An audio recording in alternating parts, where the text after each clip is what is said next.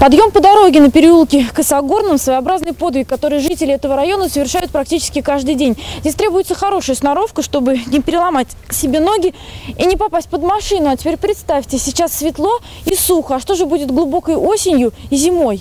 Невозможно ходить. Вот так вот на цыпочках ходим.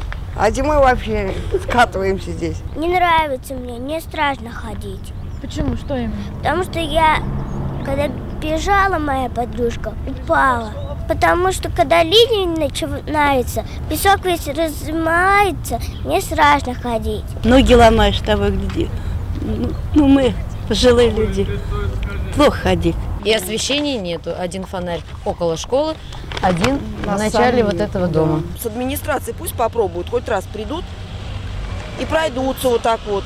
Утром и вечером, как дети ходят. Может, у них хоть совесть немножко заиграет, но это же нельзя так. Это мне прислали вот с администрации с управления строительства дорожного хозяйства вот о том, что бюджет распланирован и никто ничего делать не будет. Сегодня пресс-секретарь администрации Южного округа Рамиль Галимулин нам сообщил, что уже в понедельник на место выйдут специалисты. Они осмотрят территорию и решат, что можно сделать до начала сезона дождей. Об этом мы расскажем в наших следующих программах. Журналисты будут следить за ситуацией.